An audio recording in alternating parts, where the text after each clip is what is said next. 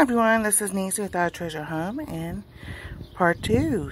This is what's going in the front. Um, I've had to trim that again, so that's like the fourth, fifth time I've gotten stuff off of the lemon basil. Yeah, I think it's time to replant something in that one. There is my lettuce that's growing back again. I have, my son asked me what that was. I told him I can't remember. I have to look at my paper carrots and onions. Now I know we um, did um, not radishes, parsnips. So I don't remember. And then here is our tomato. I should have showed y'all the other one. We picked it the other day. But here's this one that's growing. And I got some more flowers, some more blooms. Which is nice. yes. Here are the cucumbers and radishes. Cucumber vine is doing pretty good.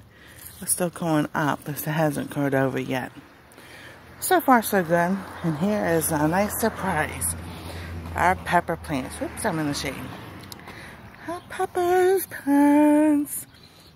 I've planted a alo aloha peppers and habanero peppers. So we're going to see how that comes out if one cancels out the other or if they mix. So exciting. So that is what's going on in the front. What's growing.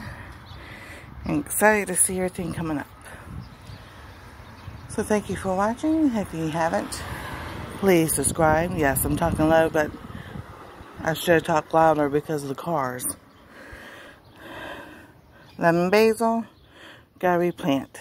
Lettuce.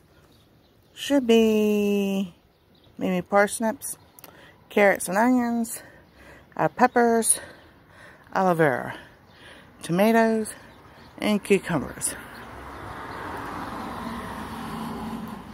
So everything is looking good. If you haven't, there's the subscribe button. Give us a like, ring the bell for notification, and we'll see you next time on our treasure home. Everyone have a wonderful day.